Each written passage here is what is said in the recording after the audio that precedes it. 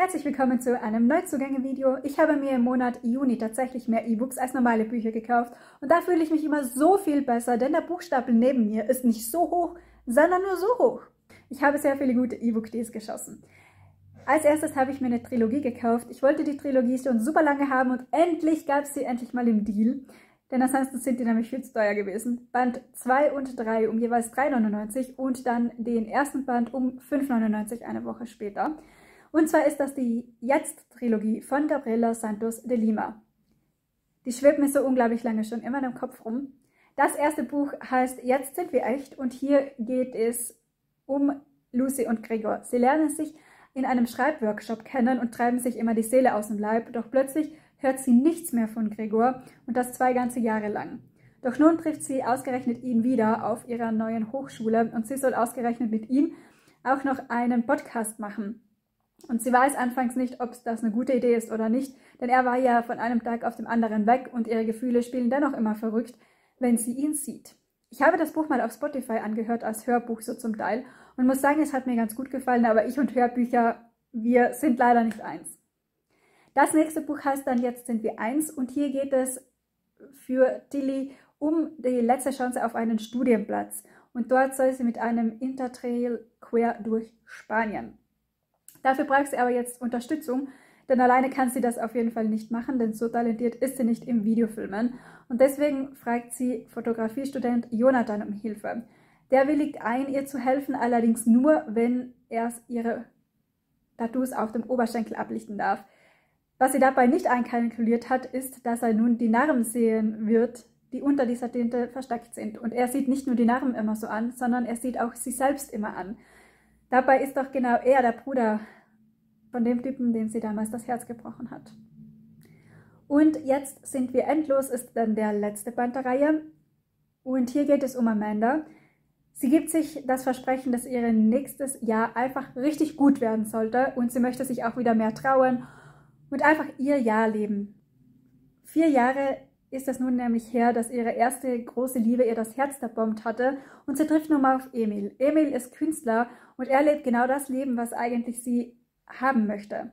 Und Emil bringt sie dazu, endlich wieder einen Pinsel in die Hand zu nehmen. Amanda lässt sich nun auf den Deal ein, doch schnell wird klar, weil ist mehr mit Emil als zuvor. Und so muss sie sich fragen, was tust du, wenn die Person, die dich plötzlich alles wieder fühlen lässt, der beste Freund deines Bruders ist? Dann habe ich mir gekauft von Christina Monninger Two Lives to Risk. Der zweite Band der Breaking Waves Reihe, heißt die Breaking Waves, ist glaube ich schon, ja. Und das ist so speziell, weil die Cover, wenn man sie so nebeneinander herlegt, wohl ein Bild ergeben. Da ist auch im letzten Monat der vierte und letzte Band erschienen, den habe ich mir jetzt bereits gekauft. Und ich bin hier wirklich sehr gespannt. Er hat gekostet 14,99 Euro und hier scheint Isabels Leben perfekt zu sein. Sie ist Erbin einer Luxushotels und wohnt in einer traumhaft schönen Villa. Doch was niemand weiß, sie ist zutiefst unglücklich und einsam. Als Preston dann in die Buchbude neben Isabels Villa zieht, brennt bei ihr die Sicherung durch. Denn er renoviert unglaublich laut, ist aber auch sehr sexy, muss sie zugeben.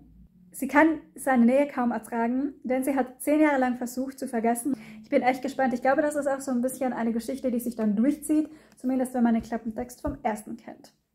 Dann habe ich mir den zweiten Band der Dreamland Billionaires Reihe gekauft von Lauren Escher um 4,99. Den habe ich mir nur gekauft, weil ich die Reihe eh lesen will und den ersten auch schon habe und weil es den eben gerade um 4,99 gab.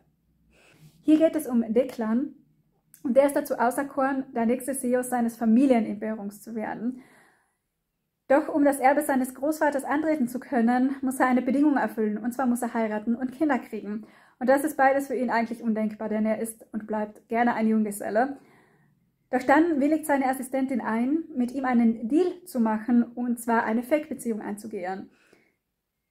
Und die beiden sind sich einig, dass keine Gefühle ins Spiel kommen werden dabei, doch alles kommt anders. Dann habe ich mir gekauft den dritten Band der Kelly-Reihe, und zwar Redemption von Julia Hausburg. Ich habe den ersten und zweiten noch nicht gelesen, aber ich wollte den hier natürlich auch noch mit Farbschnitt haben. Ich muss sagen, den Farbschnitt finde ich jetzt nicht unglaublich schön irgendwie, aber er passt halt dann zu den anderen beiden Büchern, die ich schon in der Regalreihe stehen habe. 16 Euro hier der Preis und hier geht es um Simonas Leben, das auf den Kopf gestellt wurde, denn ein anonym gepostetes Video ist da. Es zeigt sie, die Nachfahrin einer Schweizer Adelsfamilie, im Streit mit der kurz zuvor tödlich verunglückten Studentin Sarah. Und nun ist natürlich die Gerüchteküche am Elite-Universität am Brodeln. Simona ist nun bei der Planung einer Feier zu Sarahs Gedanken mit dabei und sie trifft dort auf ihren Jugendfreund Emil. Und der macht auch noch schwere Vorwürfe. Während der Zusammenarbeit sprühen zwischen ihr und dem undurchschaubaren Mann zunehmend die Funken. Doch Emil hat ein Geheimnis, das nicht nur Simonas Herz brechen, sondern auch ihre Zukunft für immer zerstören könnte. Ich bin echt irgendwie gespannt auf die Reihe. Irgendwie zieht es mich aber momentan nicht dahin. Also jetzt habe ich sie auf jeden Fall da. Und dann habe ich mir so eine New Adult Reihe gekauft, von der ich bis dato noch nichts gehört habe, aber die einfach unglaublich toll klang und es hat Eis im Titel und es geht auch so ein bisschen um Eishockey und dann muss es meins sein. Und zwar ist es einmal Match on Ice von der Autorin, die hier jetzt eingeblendet ist. Das habe ich mir auf dem schlauen Zettel nicht aufgeschrieben. Auf jeden Fall hat das 2,49 als Einzugspreis gekostet und hier geht es um Romy und die Rivalität zwischen ihr und der Eishockeymannschaft ist eigentlich ihr ziemlich egal, bis sie dann in der Notaufnahme landet. Deswegen, zu allem Übel, muss sie sich nun auch noch vor den Trainern angeordneten Übungsstunden mit Eishockey-Check absitzen.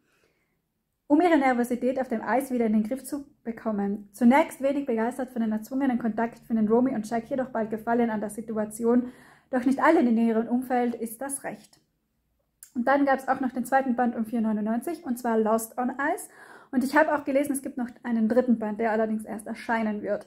Und hier hat Alice das Eis einfach nur satt. Sie hat nämlich einen Eishockeystar als Zwillingsbruder und sie kennt sich dann natürlich super gut aus in dieser Welt von Books, Bodychecks und Co. Und sie möchte dem eigentlich entfliehen, denn sie hat zu viele Wochenende von ihren freien Wochenenden auf dem Spielfeld verbringen müssen, um ihren Zwillingsbruder anzufeuern. Nun zieht sie in eine Stadt, um ein bisschen Abstand von dieser ganzen Geschichte zu halten. Doch dann lernt sie Reed kennen und verliebt sich in ihn. Doch ausgerechnet er ist ein Eishockey-Goalie und sie fragt sich, ob das gut gehen kann oder nicht. Werden ihre Gefühle siegen oder nicht? Klingt auf jeden Fall sehr interessant und um 4,99 habe ich mir gedacht, kann ich es mir mitnehmen. Und ja, das war tatsächlich alles, was ich gekauft habe. Nicht mal so viel, und ich habe auch nicht mal ganz so viel Geld ausgegeben, weil ich natürlich E-Book-Tees gekauft habe. So viel Geld ist es geworden. Und ich bin schon ein bisschen stolz darauf, dass ich so viele E-Book-Tees gekauft habe, weil wenn ich mir E-Book-Tees Bücher kaufe, dann kann ich mir noch mehr Bücher kaufen. Das ist immer so mein Argument. Ich hoffe sehr, das Video hat dir gefallen. Wenn ja, dann kannst du mir gerne eine positive Bewertung da lassen. Du kannst mich auch super gerne kostenlos mit einem Klick abonnieren oder hier drüben vorbeigucken, wo ich dir nochmal zwei Videos verlinke. Und nächste Woche geht es hier dann wieder weiter.